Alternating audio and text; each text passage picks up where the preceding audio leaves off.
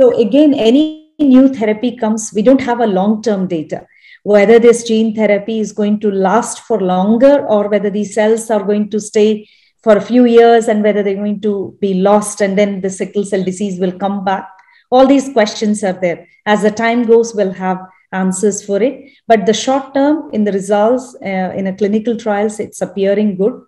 Uh, like transplant, we know once it's done, it's for life. If you cross uh, about two years after the transplant, five years, we say it's cure, and you don't lose the donor after five years.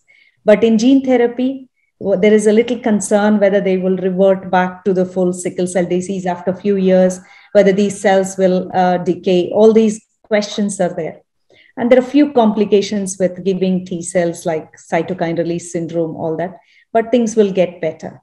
But how we choose the patients, I think the first line is still going to be a transplant for patients who have a sibling, but people who don't have a sibling, who are younger, who are going through a lot of complications, like they're having a multiple painful crisis, prolonged hospital admissions, or neurological problems like they're developing strokes, or they have a family history. Sometimes you hear in sickle families, there are three deaths, sudden deaths. Those are the patients you identify, a high risk group, and then put them through a transplant. If they don't have that option, then yes, gene therapy.